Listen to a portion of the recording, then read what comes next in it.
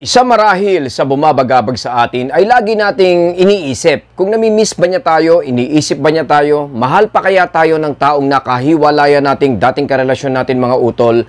Yan po ang pag-uusapan natin sa araw na to. Pero bago po natin pag-usapan yan, mas magandang alamin muna kung namimiss ba talaga niya tayo. Ito po ba ay may possibility na mangyari na isipin tayo once upon a time, isang beses, o halimbawa nga po sa ilang pagkakataon ng ating ex. Ito po mga kapapong ay napakadalas ko na rin pong naipaliwanag na may possibility talagang mangyari. Pwedeng pwede po ito mga kapapong.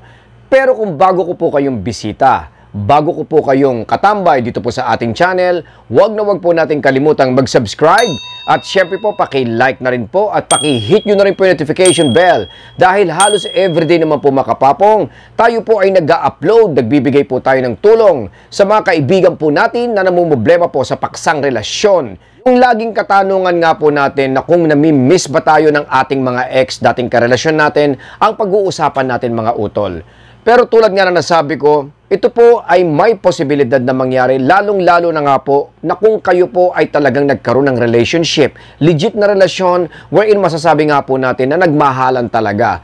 Kahit nga po makaibigan ito mga utol or halimbawa nga pong nagkaroon kayo ng soft spot sa isa't isa, pakiramdam na kung saan siya po ay naging supportive sa'yo, siya po ay nag-effort sa'yo. Kumbaga nagkaroon kayo ng mga fun moments, magkasama kayo, nag-uusap kayo mga utol. Hindi po pwedeng baliwalain ang mga ganitong situation or mga ganitong tinatawag nga po na memories. Kaya lang it so happen na posible po sa ngayon na kayo po ay may mga bad terms sa isa't isa. Medyo sabihin na natin na nakaprogram siya para iwasan ka dahil nga po hindi po maganda ang ipinapakita at ipinaparamdam po natin sa ngayon. Of course po mga kapapong, at some point, iisipin po tayo ng ex natin. Kaya lang it so happen na kung ano yung iniwan nating marka wherein pwede nga makondisyon ang mind niya, dun siya manggagaling at dun siya babalik dun po siya titingin. Ang tawag ko nga po dito ay reference. Kumbaga kung ano yung mararamdaman niyang situation, actions, at makikita niya sa atin mga utol ay babase at babalik at babalik po siya dun po sa huli or let's say dun po sa nakaraan nangyari sa inyo at sa huli nyo nga pong pagsasama or pag-uusap if ever. Kaya nga po minsan nahihirapang kumunek uli emotionally, mentally ang ating mga ex dahil nga po sa iniwan nating marka. Kung ito po ay napakasama, kung saan yung iba pa nga po ay nagkakaroon ng traumatic experience mga utol, ay mahihirapan po siyang i-absorb ito or kumunek man lang dito. Kaya nga po napaka-importante na laging pinapayo ng mga recovery coach, mga dating expert, yung kunyari nga pong kayo po ay nagkaroon ng rejection or breakup, ay tanggapin nyo po ito ng taos puso. Ipakita nyo po, iparamdam nyo po kung gaano po natin ito naiintindihan.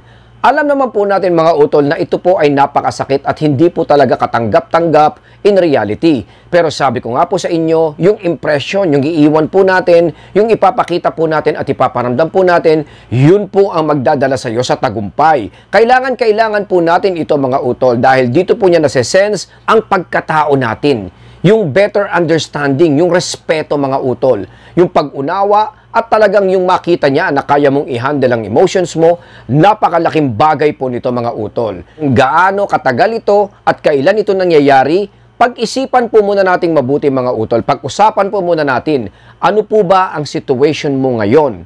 Kasi itong pagka-miss, itong iisipin ka, itong bibigyan ka ng halaga ay nangyayari lang po ito kung halimbawang naramdaman na po ng ex mo na ikaw nga po ay nag-let go. Hanggat hindi po niya nararamdaman na kayo po ay nagle-let go, mararamdaman niya yung attachment, mararamdaman niya yung feelings, pero pinag-uusapan natin dito mga utol ay yung worth natin, yung totoong halaga natin.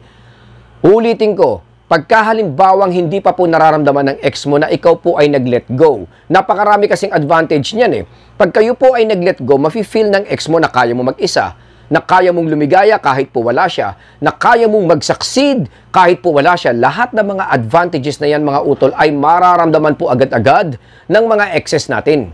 Kaya nga po yung pakiramdam or signal na nilet go mo siya mga utol ay napakaraming milestone or wonders na pwede pong makatulong sa atin kung gusto nyo po ng outcome. Once na na-feel ng ex mo na you've changed your direction, yung course of action mo mga utol ay hindi na po connected sa kanya unti-unti na po itong nagtatransform. Unti-unti na po itong nagtatransmit sa kanya yung strength natin, yung attractiveness natin, yung mga nagawa natin, yung value natin mga utol, yung feelings natin, yung possibility na masusukat niya na ano ang mangyayari sa akin pag nawala na siya ng tuluyan at ano ang mangyayari sa akin pag naibalik ko siyang muli sa relasyon sa akin. Kaya kung maipaparamdam mo sa kanya na kaya mo siyang i-let go, papasok ang sinasabi nga nilang sekreto tulad ng fear of loss.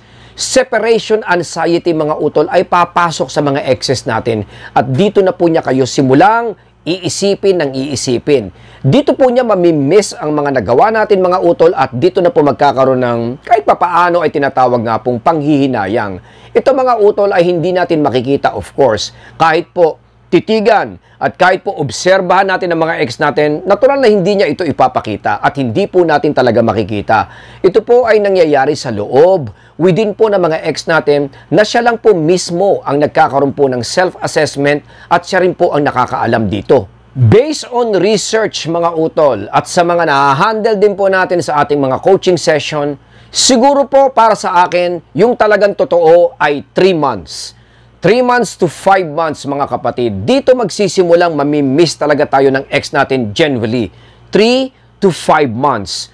Kung halimbawang pakiramdam mo ay na-miss kanya within a month, mga utol, ito po ay wala pa po sa realization stage. Maaring ego-based, o let's say, hinahanap-hanap lang po niya tayo at some point. Pero yung sinasabi ko talaga na 100% kung saan na-realize ng ex mo ang panghinayang, ang halaga mo mga utol at talagang na-miss na po niya lahat ng value. All in all, na mga nagawa po nating magaganda sa kanya mga utol, 3 months po ang pinaka maliwanag at pinaka-genuine po para sa akin. Itong 3 months, 4 months, 5 months, ito po ay napaka-crucial sa isang breakup cycle mga uto, lalong-lalo na nga po kung kayo po talaga ay nagkaroon ng legit na relasyon. Dahil dito po niya talaga maiintindihan, dito po niya talaga mai-evaluate, at dito po niya maghahalo at magkakaroon ng mixed emotions kung saan may isip niya na kailangan kanyang ibalik or kailangan po niyang lumayo muna, magpaubaya muna ng space, magpahinga, or let's say, pakawalan na talaga tayo mga utol. Ito pong stage na to kung saan tayo po ay nagpapanik, ito po ay very crucial. Nangyayari po ito within 3, 4, or 5 months. Madalas din po na naririnig nyo sa akin na yung 5 months,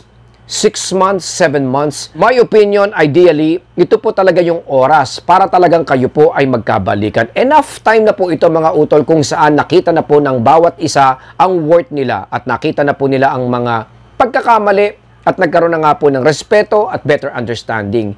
Yung mga 1 month or 2 months, para sa akin, parte pa rin po yan ng isang proseso na dapat po talaga ay hindi po muna nating minumungkahi ang chance or reconciliation para magkabalikan. Bigyan nyo po muna ng time dahil kung halimbawa nga pong gusto nating makasama ang taong to habang buhay or sa mahabang panahon mga utol, gamitin nating opportunity ito para maisaayos po ang mga pagkakamali. Huwag nating daanin sa madalian at huwag nating biglain lalong-lalo na. Huwag po nating pilitin. Marami ang nagsasabi na sa haba ng panahon na to, kapapong, ay baka mamaya ay talagang tuluyan na hindi na po ako mamiss ng ex ko mga kapatid. Sa totoo lang, I'll be honest, hinding-hindi po tayo makakalimutan. Mahirap pong mangyari ito mga kapatid. Pero yung pagkamiss, ito po ay possibly nangyayari pero kailangan po nating itong i-workout. Halimbawa nga po, binanggit ko kanina, hindi ka nakakalimutan, naaalala ka, naiisip ka ng ex mo. Pero kung ang naaalala sa iyo ay negatibo o let's say napakasamang situation mga kapatid, natural hindi magfo-flow yung pagkamis. Ito po ay magkakaroon ng barrier. Pero kung halimbawang tumama yung marka, nag-iwan ka ng good impression, and then gumamit ka po ng time and space apart na kayo po ay magkalayo kung saan na ipakita mo po na kayo po ay emotionally stable, lahat ng formulang ito mga utol ay magre-result po sa success. Siguradong sigurado po ako kapatid na mamimiss makikita ng ex mo ang value mo kung ang mga sangkap na to ay nandito at nagagawa po natin. Kaya ang may papayo ko po mga utol ay huwag po muna tayo magmadali. Tignan natin yung binibigay nating guidance today wherein naturally nga ay aabuti ng mga 3 to 5 months para isipin po tayo ng ex natin at ma-miss. Kaya pwede po nating gawing guideline ito para talagang mag-focus po muna tayo sa ibang bagay like pinalalakas po muna natin yung ating sarili, ginagawa po natin yung mga development, kumbaga emotionally ay nagkakaroon po tayo ng maturity mga utol, lahat po ito, lahat po ng mga bagay na to at situation na to ang dapat po muna nating tutukan at hindi po yung pangungulit at hindi po yung talagang paghahabol lalong-lalo na nga po sa mga ex natin dahil meron po tayong around 90 days. Dahil meron nga po tayong enough time para maisagawa ito at maging busy po muna tayo sa ating sarili mga utol. 3 months to 5 months po at sigurado po tayong mamimiss ng ex natin kung tayo po ay tumututok sa sarili at nakapag-iwan nga po tayo ng good, positive, at talaga naman pong inspiring po na impression sa ex natin mga utol. Marka ang tawag natin dito at ito po ang tutulong sa atin para tayo po ay makabalik sa dating relasyon. Hanggang dito na lang po muna si Papong TV mga utol. Huwag po nating pabayaan at siyempre po alagaan po natin at bantayan po natin ang ating pamilya. Stay safe po sa lahat mga utol. Maraming maraming salamat po. Coach Pops.